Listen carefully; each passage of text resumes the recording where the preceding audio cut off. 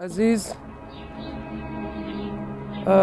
اولین فکتی که می‌خوام در اینجا به صورت ولاگ بهتون بگم در مورد فریدون فروغی تاریخ تولدشه. نهم بهمن 1329 و در گذشت فریدون جان هم 13 مهر 1329